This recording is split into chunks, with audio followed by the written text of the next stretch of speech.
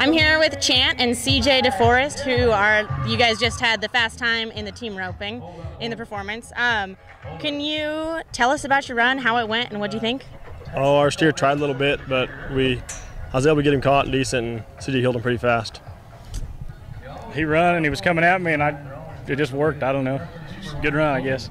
Well, good. We hope it holds, right? What makes you come to Tucson? I mean, you guys have been going to other rodeos, and Chant, I know you were at Fort Worth, obviously, and had some success in the tie down roping. I mean, why did you guys decide to come to Tucson and team rope?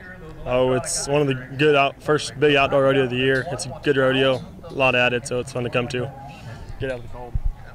It's the first place I come to. I've been home working, and first rodeo I come to is a good one to come to. So. Yeah, and so far so good, huh?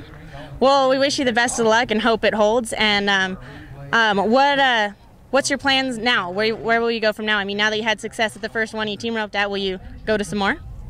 Oh yeah, I, I go to Angelo in the calf roping next week, and then I'll go home, and we'll enter the spring rodeos out in California in the team roping. I'm just gonna go home and sit around and wait for the spring rodeos in California. I'm not going anywhere else. All right. Well, cool. We're glad you came to Tucson, and thank you so much for talking to me. Thank you.